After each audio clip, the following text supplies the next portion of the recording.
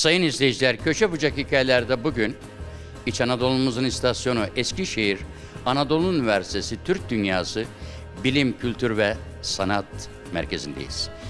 Bizlere her zaman pozitif enerjisiyle karşılayan doçent Mehmet Topal hocamla beraberim. Sayın hocam, merhaba. Bugün Merhabalar. STV izleyicilerine hangi havaları teneffüs edeceğiz? Evet, öncelikle e, Tevfik Hocam sizlere, STV izleyicilerine tekrar hoş geldiniz diyorum. Teşekkür ederim. E, malum sizle bir program çektik. E, merkezimizin, Türk Dünyası Bilim Kültür Sanat Merkezimizin üst katını tanıttık. evet hocam. 5000 metrekarelik alanı gezmiştik geçen programımızda. Bilim Tarihi Müzemizi gezmiştik. Amfiteyatromuzu gezmiştik. Sergi ve fuaye alanlarımızı görmüştük. Şimdi alt kata iniyoruz. Alt katımız 10.000 metrekare. 10 bin metre. Evet 10 bin metrekare. Hemen sağ tarafımızda alt kata inerken merdivenlerimizin sağ tarafında Türk dünyasının kurucu kağanlarının rölyefleri var. Evet hocam. Ee, ve e, sol tarafımızda da milli mücadele panoramamız var. Hemen karşımızda musiki tarihi salonumuz var. İsterseniz yürüyerek devam edelim anlatalım. Buyurun Sayın hocam. Evet. Şimdi e, musiki tarihi salonumuzda Türk dünyasının bilinen kaynaklardan tespit edilen 400 civarında enstrüman olduğu söyleniliyor. Evet Bunlar, hocam. bunlardan biz 216 tanesini sergiliyoruz. 216 evet, tanesi. yani Türkiye'nin en büyük e, musiki aletleri müzesi olarak şu anda tescil edilmiş vaziyette. Dolayısıyla burası hem musiki aletlerinin zenginliği açısından hem de ziyaretçilerimizin tecrübe odasında musiki aletlerini deneme imkanını bulabilecekleri e, bir birim olması açısından tektir yani.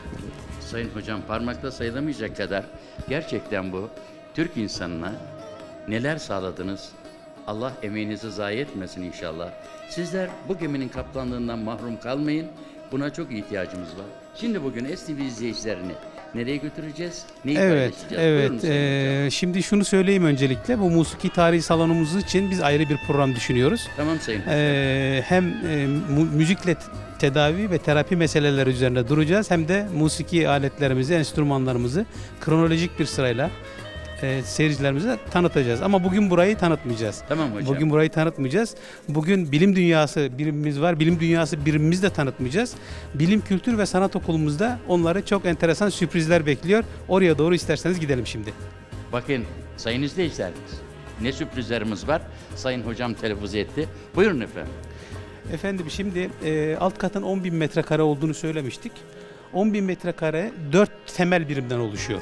Evet hocam. Her birim aşağı yukarı 2500 metrekarelik bir alanı ihtiva ediyor. Bunlardan birincisini söyledik. Musiki tarihi salonumuz. İkincisi bilgi dünyası salonumuz. Bilgi dünyası salonumuzda okur yazar buluşma mekanımız var. Evet yani hocam. diyelim ki e, öne çıkmış yazarlarımızdan birisi okurlarla buluşacak, imza günleri düzenleyecek, onlarla sohbet etme imkanına kavuşacak. İki tane de burada kütüphanemiz var. Birisi fiziki, birisi de dijital olmak üzere iki kütüphanemiz var Bilgi Dünyası salonumuzda. E, üçüncü birimimiz bugün e, seyircilerimizi buluşturacağımız birimimiz. Evet hocam. Bilgi dünyasını da yine seyircilerimize ileride tanıtımının, detaylı tanıtımının sözünü vermiş olalım. Zaten Evet. izin mimarlarında. Estağfurullah. Ee, görüyorsunuz buralar koridorlarımız e, çok özel malzemelerle teçhiz edilmiş vaziyette. Ferah bir mekandan yürüyüş yapıyoruz ve Bilim Kültür Sanat Okulu'na doğru gidiyoruz. Bilim Kültür Sanat Okulu kısmımız bizim tesislerimizin en aktif birimi. Okullarımızla, gençlerimizle, halkımızla e, pek çok şeyi paylaştığımız birimimiz burası bizim. İçeride sinema salonumuz var. E, 3D özellikli sinema salonumuzda Türk Dünyası Sinema Günleri düzenleniyor. Efendim e, yine iki tane konferans salonumuz var. Dokuz tane sınıfımız, üç tane laboratuvarımız var. Bu laboratuvarlarımızda şimdi seyircilerimizi onlarla buluşturacağız. Uzay zaman noktası gibi, efendim e, seramik atölyesi gibi, e, çocukların resim atölyesi gibi, çocukların matematik atölyesi gibi, matematik müzesi gibi pek çok birimimiz var. Arzu ederseniz şimdi onlara doğru gidelim. Yavaşça. İzleyicilerimizi bugün onlarla Onlarla buluşturalım evet. Buyurun Sayın Hocam. Teşekkür ederim. Evet şu anda Bilim, Kültür ve Sanat Okulu'na girmiş vaziyetteyiz. Gördüğünüz sağımızdaki ve solumuzdaki dolaplarda Eskişehir Türk Dünyası baş, kültür başkenti olduğu zaman Evet hocam. Türk dünyasının çeşitli yerlerinden gelen hediyelerin sergilendiği dolaplarımız var. Bunlar arasında tabii çok güzel giysiler var, objeler var, Türk dünyasını anlatan bayraklar var. Biz bunları şimdilik kaydıyla muhafaza altına aldık. İleride bunların envantere çıkılacak, çıkarılacak tamamıyla ve daha e, nezih bir ortamda daha güzel e, seyircilerimizle bunlar buluşacaklar inşallah. Burada şunu da diyebiliriz değil mi hocam? Dünün kültürünü bugünün gencine de taşıyoruz. Elbette e, bizim buranın önemli amaçlarından bir tanesi Türk dünyasının ve Türk tarihinin gönül birlikteliğini sağlamak. E, tarihimizle gençlerimizi yeni nesilleri buluşturmak. Malumunuz tarihi biz bir çınar ağacına benzetiriz. Çınar ağacının kökleri ne kadar derine giderse istikbali de kolları o kadar geniş bir şekilde kavrar. Yani ihtişamlı bir medeniyet kurma planınız, projeniz varsa olabildiğince derinlere gitmeniz lazım. Hocam ne kadar güzel Ee, terimlediniz ki. Dinlerken benim tüylerim diken diken oldu. Teşekkür ederim. Buyurun Sayın Hocam. Teşekkür ederim. Şimdi e, uzay zaman noktasına doğru gidelim. Buyurun. E, burada daha önce belirttim 9 tane sınıfımız, 3 tane laboratuvarımız var. Ama bunlar arasında bizim e, özellikle e, seyircilerimizin görmesini istediğimiz uzay zaman noktası. Üniversitemizin yine öğretim üyesi arkadaşlarından e, Metin Altan Bey'in riyasetinde, onun e, denetiminde hazırlanmış çok özel bir birim. Evet hocam. Yani buraya gelen gençlerimiz bilimle buluşacaklar. Ee, adeta gizemli bir yolculuğa çıkacaklar ama bilimin ışığında bu yolculuk olacak. Şimdi sizi Buyurun. bu birimin sorumlusu e, öğretim üyesi Metin Altan hocamla tanıştıracağım. Bundan sonrasını Metin Altan hocam anlatacak sizlere. Hocam merhabalar. Efendim merhaba. Sizleri tanıyabilir miyim? E, Ben Metin Altan, Anadolu Üniversitesi Fen Fakültesi Fizik Bölümü öğretim üyesiyim. Evet Sayın Hocam. Burada e, hocamızın da bahsettiği gibi e, çocuklarımıza uzayla ilgili, evrenle ilgili bazı kavramları somutlaştırmak için küçük bir laboratuvar kurduk. E, burada öğrencilerimiz e, liseye kadar öğrendikleri bütün bilgileri e, toparlayıp bir potada eritip burada da görselleştirecekler. Bugün STV izleyicilerine onu paylaşacağız zat halinizin önderliğinde, Çok, mem- izahında. çok memnun oldum. Buyurun Sayın Hocam. Buyurun. Sayın Hocam, şimdi STV izleyicilerimize nereden başlayaraktan bu ulvi görevinizin, bu teknolojinin e, izahını nereden başlayacağız Sayın Hocam? Öncelikle e, hepimiz gökyüzüne baktığımızda e, Samanyolu olarak işaretlediğimiz bir bant vardır. Bu bantta bir sürü yıldız e, bir arada gözükür ama buna galaksi diyoruz. Birçok kişinin kafası karışıyor. Biz bu modülde kendimizin tasarladığı bu modülde e, bu galaksiyi canlandırmaya çalıştık. Şimdi kafamızı lütfen kaldıralım yukarıya. Yukarıya baktığınızda görebilir miyiz? Evet Saman-. Samanyolu'nu şu şekilde görüyoruz. Burada bir sürü yıldız, Samanyolu'nun çekirdeği. E, gökyüzüne baktığımızda bu şekilde galaksi diyor. Aslında galaksi, lütfen şu tarafa bakalım, şu şekilde bir spiral şeklinde gözükür. Herkes der ki galaksi böyle ama Samanyolu farklı gözüküyor. Samanyolu galaksisinin şöyle merkezden uca doğru üçte bir mesafesinde Güneş sistemi bulunmakta. Biz onu öğrencilerimize somutlaştırmak için Güneş sisteminin olduğu yeri e, burada model üzerinde işaretledik. Ben hemen modeli çalıştırayım istersen.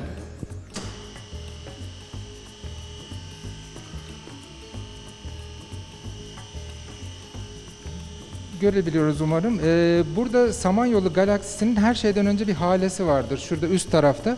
Bu halenin merkezinde e, galaksi çekirdeği var. Üçte bir mesafeye bir kamera koyduk. Şurada gördüğünüz kamera e, bir ekrana yansıtarak öğrencinin galaksiyi nasıl gördüğünü ekranda göstereceğiz. Galaksi e, bir şekilde dönmez, birkaç şekilde dönecektir. Döndüğü zaman spiral kolların e, uç taraflarında genç yıldızlar, orta taraflarında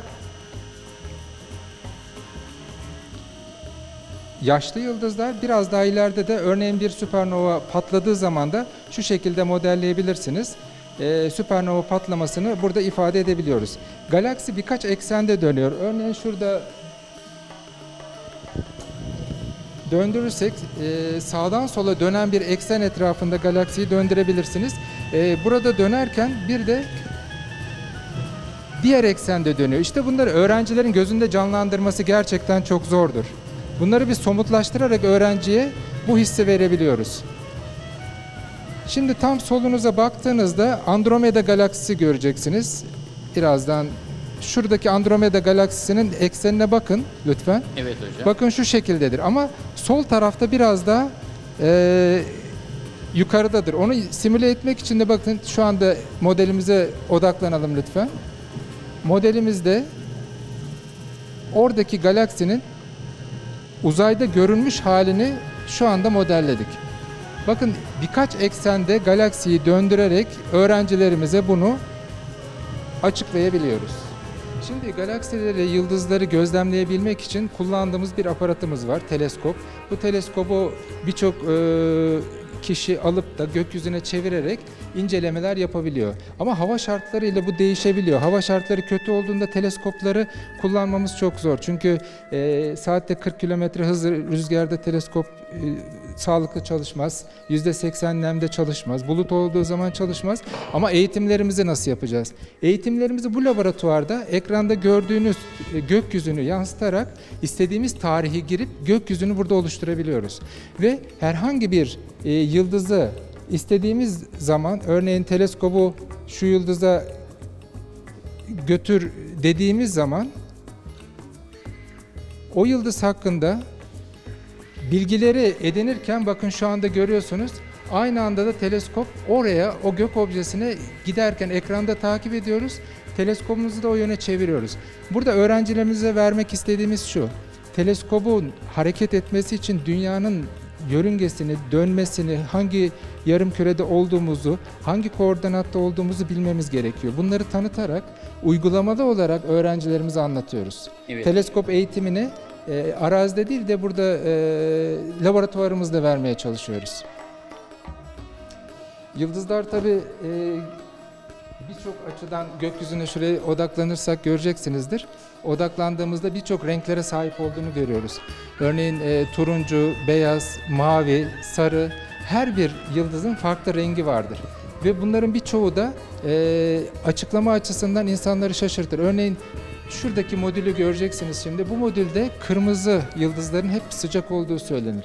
Öğrencilerimizle bu yıldız evrimini burada tartışıyoruz. Örneğin e, kırmızı yıldızlar daha çok soğuktur. Yukarıdan aşağı eksene baktığınızda e, bu yıldızların modellemesinde yarı çaplarının küçüldüğünü, e, sağdan sola baktığınızda da sıcaklığın arttığını görüyorsunuz. Bu ilginç bir model. Bu model üzerinde biz e, her bir yıldızın farklı karakterdeki özelliklerini öğrencilerimizle paylaşmaya çalışıyoruz. Örneğin güneşi burada modelledik. Şuradaki güneşi göreceksiniz. Güneş G2 tayf türüne sahip bir yıldızdır. Bu yıldız e, daha çok e, turuncu e, gözükür ve yıldız evriminde e, şurada gördüğünüz ana kol denen bir evrede geçer. Öğrencilerimiz de bunları tartışarak bu model üzerinde hangi yıldızların hangi özellikte, hangi sıcaklıkta, hangi e, büyüklükte, hangi renkte olduklarını, şuradaki element bolluklarını içererek e, anlatıyoruz. Amacımız burada çocuklarımıza yıldızların sadece güneş gibi yıldızlar olmadığını, güneşten çok daha büyük, çok daha küçük, farklı renklerde, farklı boyutlarda, kimyasal özelliklerde olduğunu açıklıyoruz. Gökyüzünde gördüğünüz yıldızların çok büyük bir bölümü %80'den fazlası çift yıldızlardır. Bu çift yıldızları modellemeye çalıştık burada. Örneğin buna yıldız da koyabilirsiniz. Güneş ve gezegen de koyabilirsiniz. Gezegen koyduğunuzda örneğin Dünya ile Güneş'i modellediğinizde bunlar birbirleri çevresine dönerler. Herkesin yanıldığı nokta şu. Güneş çevresinde dünya dönüyor denir. Aslında güneş ile dünya arasındaki çizgide ağırlık merkezi neredeyse orada. O eksende dönüşürler. Biz burada kendimizin tasarladığı bir modelde dünya ile güneşi birbirleri çevresine dönüşümünü modellemeye çalıştık. Lütfen dikkat edin. Burada çalıştırdığınız zaman modeli bakın uzaktan baktığınızda bunların birbirleri çevresinde ortak eksende dönüştüğünü göreceksiniz. Ve şuradaki patlamada da güneşin patlamasını modelledik. Her artı 6 turda bir e, güneş patlamalarını öğrencilerimize hem anlatıyoruz hem gösteriyoruz. Bu model üzerinde birden fazla karakterde e, inceleme de yapabiliyoruz. Örneğin dünya dışı yar- e, yaşam var mı arayışında dünyadan güneşten farklı yıldızlarda da yaşam olduğunu araştırmak için güneşin titremesine bakılır. Güneş bu eksen kaymasında titreşmeye başlar. Uzaktan baktığınızda gezegeni göremezsiniz. Gezegen ışık yaymıyor. Gezegen ışığı yansıtır. Ama yıldızı bu şekilde titreşirse farklı eksende titreşir demektir. O yüzden gezegen barındırabilir. Burada amacımız öğrencilerle e, uzayda yaşam arıyorsak bu şekilde yıldızlarda gezegen barındıran ve titreşen yıldız özelliklerini birlikte incelemeye çalışıyoruz. Tabii yıldız evrimleri e, çok geniş bir konu. Bunu kafamızda canlandırmak için farklı bir model yaptık. E, bu model üzerinde e, yıldız evrimini sürdürürken hidrojeni helyuma çevirerek yaşar. Ama yaşamı bittiğinde e, bir takım etkileşimlere maruz kalır. Örneğin enerjisini tükettiği zaman helyumu yakmaya başlar. Helyumu yakmaya başlayınca şurada gördüğünüz gibi yıldızın çapında artma görürsünüz ve bir olay ufku modelledik. Bu olay ufku buradaki fanus. Ama yıldızı da modellerken genişleyip de inmesini, yarıçapının değişken olmasını modellememiz gerekti. O yüzden eee, yıldızın küçülmesini şu anda gördüğünüz gibi ya da helyumu veya daha ağır elementleri yaktığında yıldızın genişlemesini, genişleme sürecince e, olay ufkundaki etkileşimleri burada birlikte öğrencilerimizle modellemeye çalışıyoruz. Gökyüzünde sadece yıldızlar yok. E, gökyüzünde gördüğünüz her şeyin ta kendisi evrenin kendisi.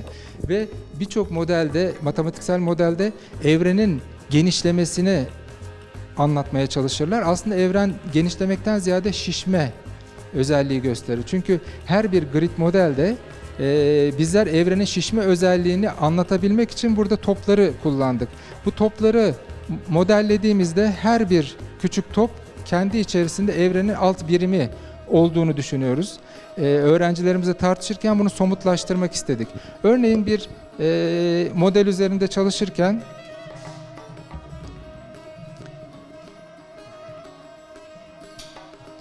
Bakın e, herhangi bir kütlesel çekimin etkisinde modelin sağ tarafı ve orta tarafında şişme olmuyor, diğer tarafları şişiyor. Burada e, anlatırken evren modellerinde orada bir ceset yıldızın olduğunu ve ceset yıldızın olduğu bölgelerde evrenin buruşmaya ve şişmesinin biraz daha gecikmesi e, olayları gerçekleşmekte.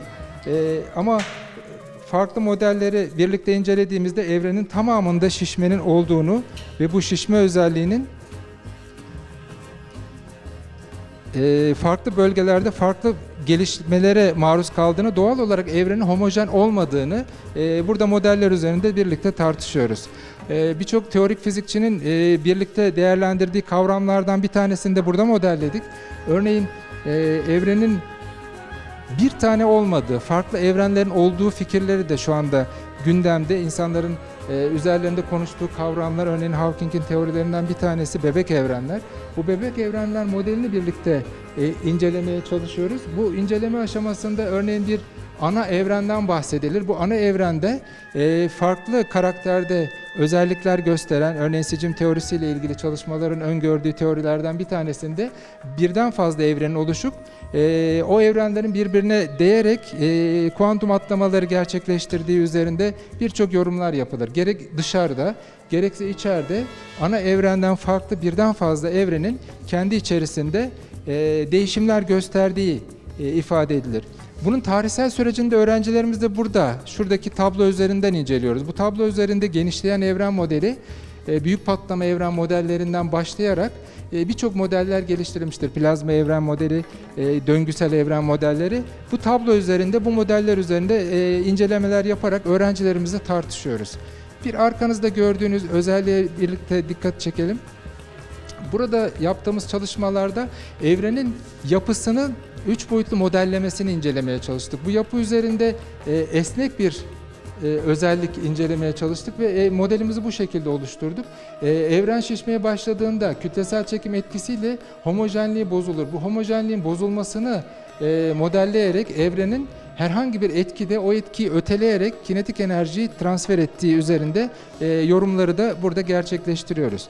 Bir başka modelimizde ise e, kütlenin ve ışığın üç boyutlu olarak yön değiştirmesini inceliyoruz. Mesela burada e, ışığı hareket ettirdiğinizde dümdüz bir yol izleyecektir ama kütlesel çekimin etkisinde bozulan bu gridsel yapıda e, kat ettiği mesafelerdeki değişkenlik ışığın ve kütlenin e, yön değiştirmesini ve Einstein'ın 1919'da e, teorilerinin ispatlandığı güneş tutulmasının üzerinde konuşmaları burada gerçekleştirebiliyoruz. E, şurada bir modelimiz var. Bu modelimizle öğrenci, lise öğrencilerimiz, ortaokul öğrencilerimiz için hazırladığımız bir e, Mars modülü. E, Bu Mars modülünde bir robot kendimiz tasarladık ve öğrencilerimizle birlikte yaptık. Bu robot e, şu anda Mars'ta e, Curiosity adındaki robotun bir prototipi. E, bu prototip üzerinde e, aynı Curiosity'deki robot gibi 6 tane tekerlek ve birbirinden bağımsız e, beyinlerle çalışan tekerlekler tasarladık. Herhangi bir engele çarptığında bu engelin üzerinden rahatlıkla geçebilir diğerlerinin e, ivmesiyle, kuvvetiyle. E, bir tane kamera tasarladık. Bu kamera şu anda hareket ediyor, kendini kalibre ediyor. E, indiği zaman kratere, kraterin üzerindeki resimleri çekip e, gecikmeli olarak gönderiyor. Biz özellikle gecikmeyi Mars'ta Dünya arasındaki mesafeden kaynaklanıyor olarak kendimiz tasarlıyoruz. Bir tane sondaj probumuz var. Bu sondaj probu da Curiosity'deki gibi sondaj yaparak sondajın verilerini sinyal olarak e, kumanda merkezine gönderiyor. Çarpmayı engellemek için bumperlarımız var. Bunlar mesafeye duyarlı olarak e, robotun kendisini koruyor. Güneş panelleri e, enerji sağlamak için bir de GPS modülü var. Hareket ettiğinde e, bu modül de bulunduğu konumu bize gönderiyor. Bu çalışmalarımızı yaptığımız yer e, şu anda canlı bağlantıda e, Yunus Emre Gözlem Evi'ne canlı bağlantıdayız. E, bu canlı bağlantıdan e, size göstermek istiyorum. E, gezegen araştırması simülasyon modülümüz şu bina içerisinde. Bu bina içerisinde bir tane krater tasarladık. Bu krater e, 4 metrelik bir krater çapında, 4 metre çapında bir krater.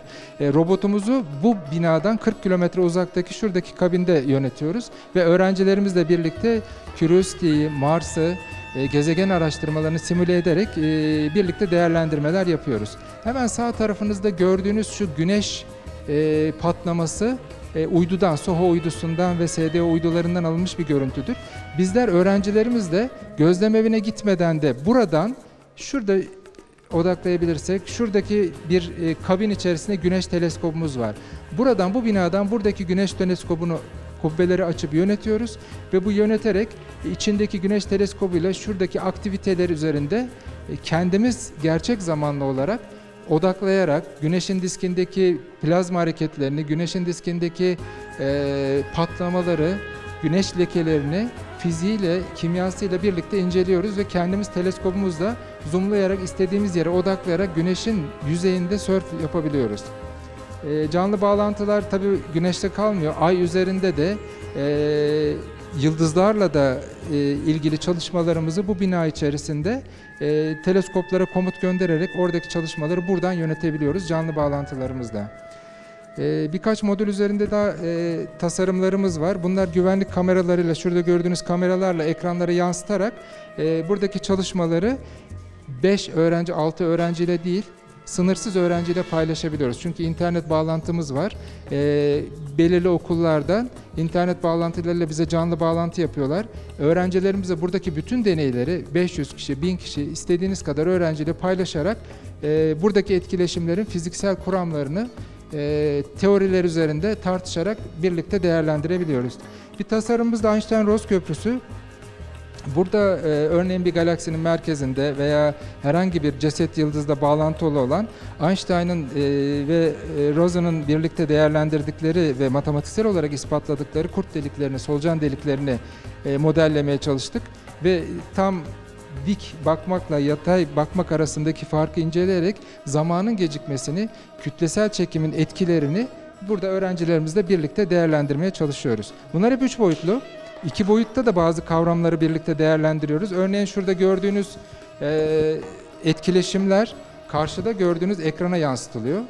E, buradaki bütün etkileşimleri karşıda gördüğünüz ekranda e, öğrencilerimizle modelleyebiliyoruz. Örneğin burada e, kütlesel çekim etkisini ben küçük çapta size göstereyim çok basit bir şekliyle. E, canlı bağlantı yaparak da durumu inceliyoruz ama herhangi bir kütlenin yaptığı kütlesel çekim etkisini e, örneğin burada birden fazla yıldız etkileşimiyle oluşturulan kütlesel çekim etkilerini inceleyip e, öğrencilerimize yansıtırken güvenlik kamerasıyla kameralarımızda bu etkileşimleri, bu çukurlukları e, hem yukarıdan iki boyutta tam tepeden bakıp hem de yandan o çukurluğun etkilerini, eğrilikleri, kütlesel çekimin yaptığı e, kavramları burada birlikte hep beraber inceleyebiliyoruz. Buradaki modülde öğrencilerimizle ışığın hızıyla ilgili, ışığın doğada davranışıyla ilgili bazı kavramlar üzerinde duracağız.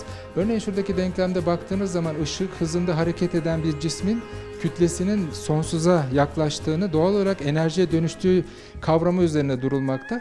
Biz bunu öğrencilerimizle anlatırken e, özellikle ışık konisinden yararlanıyoruz. Işık konisi üzerinde kavramları değerlendirmeye çalışıyoruz. Örneğin e, suya atılan bir taşın zamana göre eksenini çizdiğinizde bir koni oluşturursunuz. Her bir saniyede e, ulaştığı mesafe dairesel şekilde e, bir üst katmana geçecek ve bu katmanları birleştirdiğinizde bir ışık konisi oluşacaktır. Örneğin bir güneşi ele aldığınızda güneşten dünyaya gelen ışık 8 dakikada gelecek. Her bir dakikayı modellediğinizde e, birinci dakika, ikinci dakika şeklinde modellediğinizde her biri dünyaya olan mesafesi yaklaşarak e, bir koni, üç boyutlu bir koniyi oluşturacaktır. Ve bu koni e, her bir dakikada e, belli bir mesafeye gidecek. Örneğin şurada ekranda gördüğünüz beyaz çizgi ışıktan hızlı giden bir cisim demektir. Sarı çizgiler ise ışıktan yavaş giden cisimleri ifade eder. Biz burada ışıktan hızlı giden yani koninin dışındaki olan evreni bizim evrenimiz değil, koninin içini bizim evrenimiz olarak kabul ediyoruz. Bunun modellemesini yaptığınızda eee, şurada göreceksiniz. Bir ışık konusu oluşturuyoruz. Bu konuda her bir eee, doğa olayı bir başlangıç noktası olarak düşündüğünüzde her bir dakikada ışığın gittiği mesafe artacak ve gittiği zaman 3 boyutlu dikey eksen zaman ekseni olarak düşündüğünüzde gittiği mesafenin bir koni oluşturduğunu görüyorsunuz. Burası bizim evrenimiz. Koninin dış tarafı ise bizim evrenimiz değil. Burada yapmak istediğimiz öğrencilerimiz de eee, uzay zamandaki bütün bu etkileşimlerde ışığın alabildiği yolun bir koni şeklinde ifade edilebildiği aslında burada görülen zamanın şekli. Yani zamanda ışık nasıl hareket ediyorsa üç boyutlu olarak bir koninin içinde bunu modelleyebiliyoruz. Bazı etkileşimleri ifade edebilmek için etkileşimin içinde bulunmak çok önemlidir. Biz buradaki tasarımımızda uzay zaman geometrisinde biraz önce anlattığım o grid modelin içine girip de öğrencilerle bu etkileşimi paylaşmak istedik. Şu anda e, yere baktığımızda yeri bir e, esnek yapıyla e, oluşturduk. Bu esnek yapı içerisinde e, herhangi bir cisim kütlesel çekim etkisiyle bu uzay zaman geometrisindeki esneklikten yararlanarak şeklini değiştirir. Bu şeklini değiştirme bir kütleye bağlıdır. O yüzden biz de kendimiz kütle olduğumuz için içine girerek bu eğriliği oluşturmaya çalışıyoruz. Ve hemen e, ekranda göreceğiniz e, bir e, slaytta bir Einstein'la Newton'un evrenini burada modellemeye çalışıyoruz. İçinde, öğrenciler içindeyken. Örneğin e, Newton'un modelinde iki tane kütlenin çekimi aralarındaki uzaklığın karesiyle ters orantılı değişecek bir kuvvetle ifade edilir. Ancak bu ifadede herhangi bir kütleyi çekebilmek için bir kuvvete ihtiyacınız var. Einstein'ın izafiyet teorisiyle geliştirdiği modelde ise buna ihtiyacınız yok. Herhangi bir kütle burada e, şuradaki modelde bu platformda oluşturduk herhangi bir kütle etkileşimi yaptığı anda uzay zaman geometrisinde bir eğrilik oluşur ve o eğrilikte herhangi bir kütleyi kendine çekerek modelleyebilir. Buradaki etkileşimdeki amacımız buradaki grid yapıda öğrencilerin içinde oluşturduğu model içerisinde e, kütlesel çekimi hissetmelerini sağlamak buradaki amacımızdı. Evrende tabii ki kütlesel çekim etkilerinde uzay zaman geometrisinin bozulmasına ek olarak bir de merceklenme etkisi yapacaktır. Buradaki modül içerisinde de bu merceklenme etkisini ifade ediyoruz. Evrenin e, tamamında ceset yıldızlar bu şekilde evrende dolaşır ve olay ufukları ışığı kırarak arkasında merceklenme etkisi oluşturarak e, herhangi bir objeyi birden fazla size gösterirler. Buradaki merceklenme etkisiyle de öğrencilerimiz de bunu somutlaştırarak göstermeye çalışıyoruz. Öğrencilerimiz burada ışığı hareketini, ışığın herhangi bir e, kütlesel çekim etkisinde nasıl davrandığını ve eğrilerek uzay zaman dokusunda oluşturduğu etkiyle birden fazla görüntü oluşturduğunu öğrencilerimize paylaşarak daha sonra da matematiksel modellerle bunun üzerinde e, soyut kavramları da olgunlaştırarak doğanın nasıl davrandığını ifade etmeye çalışıyoruz. E, yukarıda gördüğünüz e, görüntüde e, Eta Carina astronomide, astrofizikte en çok çalışılan e, gök objelerinden bir tanesidir. Bunu özellikle öğrencilerimize paylaşıyoruz. E, güneş e, bir beyaz cüce adayı yani öldükten sonra enerjisini tükettikten sonra e, bu şekilde patlayarak evrende böyle bir görüntü oluşturacak. Burada ağır metalleri, ağır elementleri evrene saçtığında bölgeye bölgede e, kütlesel çekim etkisini hızlandıracak ve küçük küçük yeni yıldızlar oluşturacak. Güneşimiz de bu şekilde e, bir enkaz üzerine, bir yıldızın patlaması üzerine kurulmuş bir yıldızdır. İkincil bir yıldızdır. Yani bir ceset yıldızın üzerine kurulmuş bir sistem üzerinde yaşıyoruz. Ee, Burada öğrencilerimizle birlikte e, bazı kavramları netleştirmek için bir sergi hazırladık. Bu serginin e, asıl önemli noktası öğrencilerimize birer tane gözlük veriyoruz. Bu gözlük arttırılmış gerçeklik gözlükleri. Sadece tablo olarak yorumlamıyoruz bunu. Yan tarafında bir QR kod uygulaması var.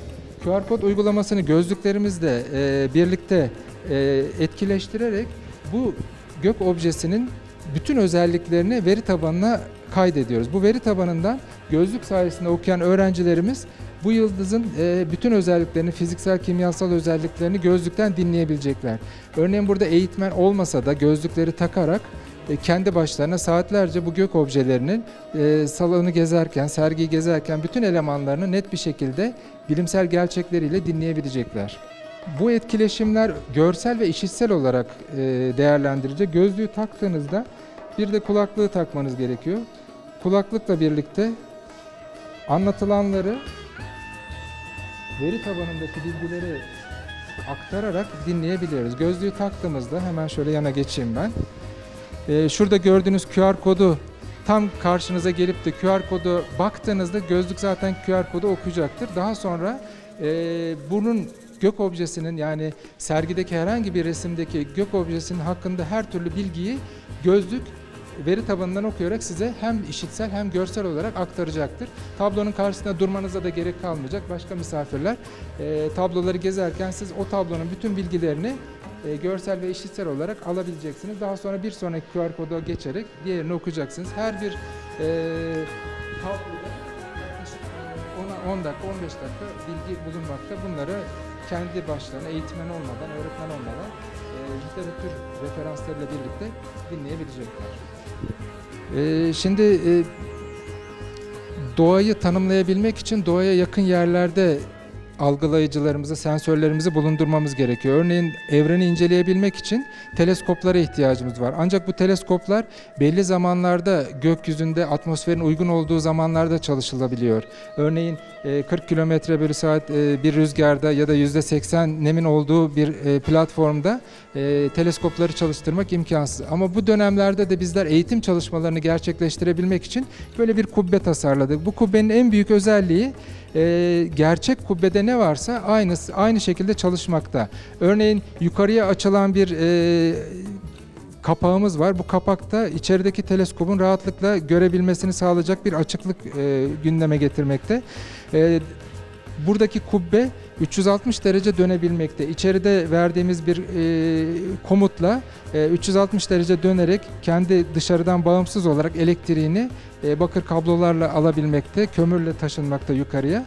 E, daha sonra içerideki teleskopla da hemen arkanızda gördüğünüz şuraya bir zoomlama yapabilirsek ay ile ilgili bütün aktiviteleri şurada gösterelim. Bir LCD ekrana yerleştiriyoruz. Ay ile ilgili bütün aktiviteleri ayın yüzeyinde sörf yaparak teleskopla içeriden dinleyebiliyoruz. Daha sonra teleskopumuzu e, Jüpiter'e çeviriyoruz. Jüpiter'deki bütün LCD ekrana yerleştirilen e, veri tabanı bilgilerini teleskopla gözlem havasında gözlem yapıyormuş gibi Jüpiter'in e, gözünü, fırtına gözünü, Jüpiter'in kutuplarını, yüzeyinde sörf yapıyor. Daha sonra da içinde Jüpiter'le ilgili bütün bilgileri inceleyebiliyoruz. Daha sonra teleskopumuzu yan tarafa çeviriyoruz. E, Mars'la ilgili şu anda aktivite var içeride. Mars'la ilgili proje, proje detayları e, birlikte değerlendirerek Mars yüzeyinin e, üzerinde sörf yaparak İçeride teleskopla gözlem yapıyoruz. Yani öğrenciler burada gece gözlem yapıyormuş gibi e, gök objelerini burada değerlendirebiliyorlar. Bir tabii buradaki QR kodla gözlükle okuyarak da e, teleskopla ilgili, gözlem eviyle ilgili bütün bilgileri gözlükle dinleyebilecekler. Birlikte içeri girelim. Burada e, teleskopumuzda küçük bir teleskopumuz var. Bu teleskop karşı taraftaki biraz önce bahsettiğim e, gök objelerine yöneltilebiliyor. E, daha sonra bunu gözlem yapıyormuş gibi yan tarafa çevirerek diğer e, ay gözlemini gerçekleştirebiliyoruz. E, daha sonra kubbeyi kaydırarak yukarıya doğru açıklığımızı arttırabiliyoruz. Burada bir öğrenci e, gözlem yaparken yani te- e, gerçek doğada gerçek gözlem evinde gözlem yapıyormuş gibi e, teleskopla birlikte çalışabilmekte gök objelerinde gözlemini gerçekleştirebilmekte. Bir diğer etkinliğimiz de yukarı bakarsak eğer yukarıda Samanyolu'nu görebilirsiniz aydınlatılmış bir resimde ve sokak lambalarında kötü bir aydınlatmaya örnek koyduk burada. Ee, burada olması gereken aydınlatma bu. Bütün şehirlerde neden gökyüzünü göremiyoruz, yıldızları göremiyoruz? Bu şekilde aydınlatma olmadığı için. Eğer bu şekilde aydınlatma olursa gökyüzündeki yıldızları daha rahat görebiliriz. Bütün dünya literatüründe bu e, ışık kirliliği olarak nitelendiriliyor. Biraz daha devam edelim. Örneğin kötü bir aydınlatmaya örnek vereceğim size. Gök objelerini daha rahat göremememizin en büyük nedenlerinden bir tanesi karpuz lambalar ve e, düzgün aydınlatılmayan. Örneğin bakın şu anda e, şehrimizde e, kafamızı kaldırdığımız zaman gökyüzünü neden göremediğimizin en büyük e, kanıtı e, bu şekilde öğrencilerimizi de bilgilendirebiliyoruz. Son olarak biz görsel olarak e, teleskopumuzda e, gözlem yapıyoruz. Kulaklığımızı da takarak bir e, öğrenci geldiğinde bu şekilde bir kulaklığı takarak e, buradaki bağlantılarla isterse Ay'ı, isterse Mars'ı, isterse Jüpiter'i veya başka gök objelerini e, gözlem havasında izleyerek, e, dinleyerek o obje hakkında bilgi edinebiliyor. İşte sayın izleyiciler, Sayın Metin Hocam'la bakın teknolojinin verilerini paylaştık. Sayın Hocam ben zatlarınıza çok teşekkür ediyorum. Ben teşekkür ediyorum böyle bir imkanı verdiğiniz için. Bütün öğrencilerimizi bekliyoruz. Hoşçakalın. İyi günler. hoşçakalın. Sayın Mehmet Hocam, şu an STV izleyicilerimizi hangi oyuna teneffüs ettireceğiz? Nereye geldik? Evet, e, uzay zaman noktasından sonra Evet. şimdi çamurun aşkla buluşup sanata dönüştüğü mekana geldik. Seramik atölyemize geldik. E, e, se- seyircilerimiz herhalde fark ediyorlardır. Biz burada gelenekle geleceği buluşturuyoruz. Hem geleceğin materyalini gösteriyoruz bilimin ışığında hem Evet. de bakın geleneği temsil Sayın eden Hocam ne kadar bir güzel kelime telaffuz ettiniz. Estağfurullah. Çamurun aşkla buluştu. Evet, çamurun aşkla buluşup sanata dönüştüğü Sanata mekan seramik dönüştü. atölyemiz. Burada da yine üniversitemizin kıymetli öğretim üyelerinden doçent Ensar Taç Yıldız hocamız var. Şimdi onunla buluşturalım seyircilerimizi. Buyurun efendim. Sayın Hocam hayırlı günler. Merhabalar, hoş geldiniz. Hoş bulduk. Zatlarınızı tanıyabilir miyim hocam? Ben doçent Ensar Taç Yıldız. Evet Sayın Yıldız Hocam. Evet, Bugün STV izleyicilerine öyle bir hava teneffüs ettiriyoruz ki şu anda neler yapıyoruz, izleyicilerimizi neler paylaşacağız? şimdi şu anda e, seramik çalışması yapıyorum. Evet. Tablo yapıyorum. Evet Kuş hocam. figürlerinden oluşan tablolar yapıyorum. İşte e, Bilim Kültür ve Sanat Merkezi içerisinde yer alan seramik atölyemizde e, çocuklarımıza yönelik, Evet. ilk öğretim çocuklarına, lise öğrencilerimize yönelik, gençlere yönelik bir takım projelerimiz var. Evet. Bunları devam ettiriyoruz. İşte çocuklarımızın yapmış olduğu işleri de vitrinde görüyoruz, görüyoruz. Tabii ben de e, kendim naçizane şu anda çocuklarımız tatilde olduğu için e, bir yeni bir esere başladım. Onun üzerinden devam ediyor. Sayın Hocam nasıl başladık? Bir izleyicilerimize paylaşır mıyız? Yapar mıyız biz şöyle? Ee, nereden başlıyoruz? Nasıl hayata Öncelikle geçiyor? öncelikle e, biliyorsunuz e, se- seramik kilin suyla karıştırılarak e, karıştırılarak plastik bir kıvama getirilmesi Evet e, şeklinde e, çamurumuzu oluşturuyoruz. Çamurumuzu ilk önce şunun üzerinden devam edecek olursak Buyurun. çamurumuzu işte bu çıtayı arasına açıyoruz. İlk kalıp Düz bir şeklinde evet çamurumuzu açtıktan sonra açtıktan sonra üzerine üzerine üzerine düz bir şekilde olan çamurumuz üzerine desenleri çiziyorum. Oluştur oluşturacağım burada kuş figürünü ele aldık. Evet hocam. Desenlerimizi çiziyorum. Çizdikten sonra ilgili alanları keserek keserek iki parçayı birbirinden ayırıyorum. İki parçayı birbirine ayırdıktan sonra tamamen satıh düz şu kısımlarını, şu kısımlarını e, şekillendirerek biraz daha yukarıya kaldırarak biraz sertleştirmesini sağlıyorum. S- Sertleştikten sonra tamamen e, belli bir kıvamda olan çamurumu belli bir kıvama getirdikten sonra yüzey işleme e, kısmına geçiyorum. Onun için de genelde genelde kürdan kullanıyorum. Kürdan kullanıyorum. Bu şekilde bu şekilde şekillendirmemi tamamen sıfır noktasından ele alarak sıfır noktasını ele alarak şekillendirmeye çalışıyorum. Evet. Çizgisel bir şekillendirme söz konusu burada. Çamurumuzun elastik yapısından faydalanmaya çalışıyorum.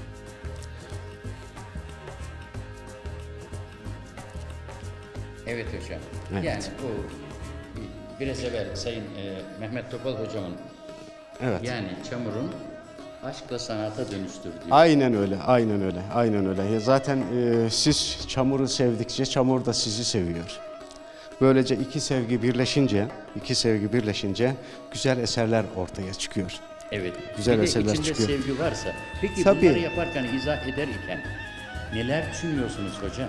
Şimdi tabii ben eserlerimde çoğunlukla e, Eskişehir basınında da yer almıştır. Çeşitli sergiler açtım. Evet, Eskişehir'de, ülkenin birçok yerinde. Ben e, bundan e, 15 sene önce özellikle dünyanın dünyanın nereye gittiğini kendimce analiz edip bunları eserlerime nasıl taşıyabilirimin Evet. endişesi içerisindeydim ve geldiğimiz noktada geldiğimiz noktada özellikle kuş figürü üzerinden kuş Evet. figürü üzerinden hayata göndermeler yapmaya çalışıyorum. Kuş üzerinden hayata Evet. göndermeler. Göndermeler yapmaya çalışıyorum. Örneğin mesela bugünkü dünyamızda geçmişten bugüne, geçmişten bugüne çeşitli parçalanmaların evet. olduğunu söylememiz mümkün. Bunu gerek toplumsal bağlamda gerek ülkeler adına söyleyebiliriz. İşte buradaki buradaki ifadeler onu ele alarak Evet. çalıştığım Sayın şeyler. hocam, bunları yaparken yalnız başınıza şarkı mı mırıldanıyorsun, türkü mü, bir uçan kuşu mu hayal ediyorsun? Nasıl bir duygu? Her şeyi hayal ediyorum ve bunları yaparken inanın eee, çok rahatlıyorum. Çok Rahatlıyorsunuz, rahatlıyorum. Yani eee, hiçbir şeyi Bir de talebelerimize umursamıyorum. bir şeyler vermenin mutluluğunu tadıyorsun. elbette, Değil mi? elbette, Sayın elbette. hocam çok teşekkür ediyorum. Biz teşekkür ederiz. Sağlığınız daim yolunuz açık olsun. Teşekkür ederim. Sağ olun, var olun. Eksik kalın. olmayın. Hoşçakalın. Şu an nereye geldik? STV izleyicilerinden neyi paylaşacağız? Evet, izleyicilerimizle sanat yolculuğumuz devam ediyor Tevfik Evet Hocam. hocam. Şimdi çocukların resim atölyesi birimine geldik. Yetenekli çocuklarımız kendilerini ifade edebilecekleri mekanlara ihtiyaç duyuyorlar malum. Evet. Onlar için de biz bu imkanı oluşturduk. Burada yine üniversitemizin kıymetli hocalarından Profesör Doktor Gülden Arazay hocamız var. Gülden hocamız burayla ilgileniyor. Şimdi izleyicilerimize burada neler olduğunu sizlere ifade edecek. Buyurun Sayın Hocam. Hoş geldiniz. Hoş merhabalar. bulduk. Hocam sizleri tanıyabilir miyim? Ee, adım Güldane Arazay. Ben Güzel Sanatlar Fakültesi Resim Bölümünde öğretim üyesi olarak çalışıyorum. Anadolu Üniversitesi'nde 16 yıldır e, e, çalışıyorum. Ne kadar güzel Sayın Hocam. Bugün bizler de geldik işte. Ee, bugün Kültür Başkanı Hoş geldiniz. Sarayı'nda bir şeyler paylaştık. Sayın Mehmet Hocam dedi ki bakın yetenekli talebelerimizi burada Sayın Hocam nezdinde bir şeyler gösteriyoruz. Neler yapıyoruz hocam burada? Bizim e, önemli olan e, çocukluk döneminde öğrencilerimiz kendini resimle ifade ediyorlar. Evet. Çünkü resim dili onların kendilerini ifade etmeleri için en doğal, en e, güzel ve renkli yollardan bir tanesi. Renklerin hepsinin bir anlamı olduğu gibi resimde kullandıkları şekiller, biçimler, sembollerin de çok güzel anlamları var. Evet ve hocam. çocuk kendini e, konuşmanın ötesinde, davranışların ötesinde resimle ifade etmeyi seçiyor. Biz bunu 6 yaş sonrasında da devam ettirmek için aynı zamanda yaratıcılık özelliklerini arttırmak için nasıl bir yol da kullanabiliriz diye e, düşündük. Bununla ilgili projeler yaptık. Bu projeler sınıf öğretmenlerimizle, öğrencilerimizle, farklı yaş gruplarımızla deneyimleyerek, e, anketlerle bunları ölçerek e, bir nihai sonuca ulaştı. Buradan edindiğimiz deneyim şu oldu. Yaratıcılık evet çok önemli. Yaratıcılığın geliştirilmesi körelmemesi çok daha önemli. Dolayısıyla resim çocuğun kendini ifade etmesi için en önemli yollardan bir tanesi. Bizim bunu yaratıcılık özelliklerini arttırarak aynı zamanda kendini ifade etmek için kullanmasının dışında bilimsel bilgi, okuldan öğrendiği bilimsel bilgiyi sanatla birleştirip nasıl güzel bir harman ortaya çıkarıp e, bilimde tekrardan bunu kullanabilir sorusunun cevabını aradık. İşte burada bulduğumuz şey, e, evet resimle e, kendisini ifade ediyor. Aynı zamanda farklı malzemeler, özellikle de baskı resim yöntemleriyle, çünkü içinde matematik de barındıran bir yöntem bu. O yöntemi kullanarak öğrencilerimize kendilerini ifade etme şansı yakalamalarını sağladık. Kendilerini geliştirme şansı yakalalarını sağladık. Bilimsel bilgiyi sanatla birleştirerek özgüvenlerinin arttırılması, sosyalleşmelerini sağlamak, aynı zamanda da kendilerini e, sanat yoluyla ama bilimsel bilgiyi kullanarak ifade etmelerini sağladık. İşte şimdi bunu bu resim atölyemizde Anadolu Üniversitesi e, Bilim Kültür Sanat e, Merkezi'nde e, Türk Dünyası Merkezi bünyesinde daha geniş kitlelere e, ulaştırmak hedefindeyiz. Sayın hocam, ne kadar güzel. İşte sayın izleyiciler, bir eğitimci Profesör Güldane hocamla kendi çocukluğundan esinlenerekten eğitimini yapıp çocuklarımız konuşmanın ötesinde neyi paylaşacak diye böyle bir e, ambiyans bir şey yakalamışlar. Bunu da bugünün küçüğü yarının büyüğü çocuklarımızı Evet. ana dili gibi öğretiyorlar. Sayın hocam ben sizlere çok teşekkür ediyorum. Ben teşekkür Sağlığınız ediyorum. daim yolunuz açık olsun. Teşekkür ediyorum. Örnekleri isterseniz Buyurun. Evet, şimdi örneğin burada biz e, öğrencilerimizin süreç içerisinde yaptığı eserleri e, sergiliyoruz. En yukarıda gördüğümüz çalışmada resimde boya, fırça, pastel boya, resmin geleneksel yöntemlerini kullanarak kendini ifade eden bir öğrencimizin çalışması. hocam. Şimdi bu yetenekli olduğu için bu öğrenci mutlu bir şekilde kendini ifade ediyor. Peki e, bilimsel alanda kendini ifade edecek yeteneğe sahip ama sanatta ifade etme e, yet- ol- yani yeteneği olmayan öğrenci resim yapamadığında biraz kendini kötü hisseder. İşte biz bunu aşmak istedik. Bunu açmak istedim. Bunu aşmak isterken de kesinlikle. Çünkü sanatı herkes yapmak zorunda değil ama keyif yap, keyif almak, burada e, edineceği tecrübeyi, deneyimi e, hayatına mutlu, pozitif bir değer olarak yansıtmasını bekliyoruz. Dolayısıyla baskı resim aslında bizim milli eğitim e, programımızda yer alan ancak sınıfta e, kullanılması için makinelerin biraz e, tehlikeli olmasından kaynaklı kullanılamayan baskı resmi biz basit hale getirmek için çabaladık ve kullandığımız malzemeler çocuğun kullanacağı kalem Evet. ve boya aşamasına geçti. Öyle mi? Yani Mesela e, na- nasıl başlatıyoruz hocam? Örneğin maket kartonunu boya almayan bir yüzeydir. Maket kartonunun üzerine çocuk resim yapabilir. Bu yaptığı resim ama bastırarak yaptığında çukur oluşacak ve üzerine şu fırça dışında pardon Buyurun hocam. merdane ile boyayı verdikten sonra şu görüntü yani üzerine aldığımızda şu şekilde ortaya çıkacak. Yani burada gördüğünüz çalışmalar da örneğin maket kartonuna öğrencinin çalışmasını yaptığı ve sonra da baskısını aldığı çalışmalar. Ee, burada e, bir anda e, yaptığı çalışmanın tekrar tekrar basılabilir. Hatta renkler değişebilir. Kolajla birlikte daha da çeşitlenebilir olduğunu gördüğümde arkadaşı kadar güzel resim yaptığını, kendini resimde de ifade etmeye başladığını görüyor. Bu da onu mutlu ediyor Ee, ve kendi edindiği deneyimi bir başka arkadaşıyla paylaşmak istiyor. Ben bunu böyle yaptım, sen de şöyle yaparsan çok iyi sonuç alıyoruz diye sosyalleşmeye başlıyor. Yani bir yardımlaşma, bilgiyi paylaşma süreci hızlanmış oluyor ve deneyimlerini de birbirleriyle paylaştıkları için hızlı bir bilgi yayılması söz konusu oluyor. Aynı zamanda da resim yapıyor. Ortaya çıkardığı iş beğeniliyor olduğu için de kendini mutlu hissediyor, özgüveni artıyor. Sayın hocam çok teşekkür ediyorum. İnanın e, o bir ibadet. Hani abdest alıp namaz kılmak boynumuzun borcu ama insanları mutlu etmek de bir ibadet. Ne kadar güzel ben haliniz gibi terimleyemeyeceğim ama işte emekler, taytaylar, yürümek, koşmak. İlkten bu yavrularımıza Evet. özgüvenini kazandırıyorsunuz. Çok teşekkür ediyorum. Ben teşekkür ediyorum bu şansı verdiğiniz için. Rica Çocuklarımız da daha güzel günlere inşallah. Bugünün küçüğü yarının büyüğü. En güzellerini yapıyorsunuz. Hocam Allah işinizin ve yuvanızın başına sizleri sağlıklı kılsın. Amin İyi hepimize. günler efendim. Çok teşekkürler. Sayın Mehmet Hocam, ne kadar güzel şeyler paylaştırdın STV izleyicilerine. Şimdi hangi havayı teneffüs ettireceğiz STV izleyicilerine? Evet, e, bizim medeniyetimizin en güzel hususiyetlerinden, özelliklerinden bir tanesi her zaman bilim sanata refakat etmiştir. Sanat bilimin yanında yürümüştür. Yani bunlar hep kol koladır. Evet hocam. Şimdi resim atölyesinden çıktık. Çocukların matematik atölyesine geldik. Yavrularımızın matematik e, bilinci kazanmaları Evet ve hocam. matematikle irtibatların tesis edilmesi açısından çok önemsediğimiz bir birim. Şimdi Serap Erdoğan hocamız, doçent doktor Serap Erdoğan hocamızın tanzim ettiği bu bölümde onun öğrencileri bize bilgilendirme yapacaklar. İzleyicilerimizi onlarla buluşturalım.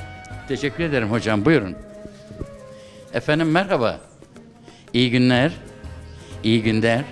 İyi günler. Canlarım sizleri tanıyabilir miyim? Benim ismim Gamze Epay, ben yüksek lisans öğrencisiyim. Bölümüm okul öncesi öğretmenliği. Öyle mi? Hı hı, evet, İnşallah cahil insan bırakmayacağız. inşallah umut Onları yetiştireceğiz. Ama benim bir ricam olacak. Tabii. Allah bu mesleği kısmet edip başladıktan sonra yalnız öğretmeyin bir de eğitin olur mu anne Tabii. kızım? Merhaba kızım sizi Merhaba, tanıyabilir ee, miyim? Ben İrem Çavuş, ee, okul öncesi öğretmenliği 2. sınıf öğrencisiyim. Burada ne görev görüyoruz? Burada kısmi zamanlı öğrenci almaya çalışıyorum. Öyle mi kızım? Evet. Ne kadar güzel. Yavrum sizi Ee, tanıyayım. merhabalar, Meryem Şimşek ben. Ee, matematik öğretmenliği öğrencisiyim. Üçüncü sınıfım. Ee, burada eğitmenler olarak çalışacağız inşallah. Burası bizim ofisimiz, Çocukların Matematik Atölyesi ofisi. Eğitmenlerimiz e, burada görev yapıyorlar. Ee, burada bir odamız var. Ee, Anadolu Üniversitesi'nin geliştirmiş olduğu bir ölçeğimiz var. Ee, Anomat isminde. Ee, 3-7 yaş arası e, öğrencilere gerçekleştirilen bir ölçek, uygulanan bir ölçek. Birebir uyguluyoruz ölçeğimizi. Ee, ölçeğimizin içerisinde e, sayılar, e, işlem ve geometri adında üç tane başlığımız var. Ve bu e, başlıklar için yani uygulanan bir ölçek soru cevap şeklinde uygulanıyor. Uygulamalarımız da var. E, burası e, gözlem aynamız. E, ölçekten sonra, uygulanan ölçekten sonra burada 3-11 yaş grubu e, karma ya da işte bireysel e, çalışmalarımız oluyor. E, öğrenciler burada etkinlik yapıyorlar. E, biz de buradan gözlem aynasından kendilerini gözleyebiliyoruz. E, ölçeğimiz 3-7 yaş e, grubu öğrencilerine uygulanıyor. Burası da 3-7 yaş grubu yine öğrencilerin etkinlik yaptığı sınıfımız, e, atölye sınıfımız. E, bireysel de gerçekleştirilebiliyor. E, kurumsal bir şekilde de öğrencilerimiz buraya grup şeklinde de gelebiliyorlar. E, randevulu bir sistemle çalışıyoruz. E, bu şekilde sınıfımızda farklı etkinlikler var. E, onları gözlem aynasından yine aynı şekilde anlattığım gibi gözlemleyebiliyoruz. Şu kısım tangramlarımız mesela, üçgenler, üçgen kareler. Ee, bunlardan buradaki biçimleri e, yapılmasını istiyoruz. Şey, e, bu şekilde. Daha büyük, daha küçük biçimlerde. Şu kısım kesirler mesela. Şöyle göstermek istiyorum veya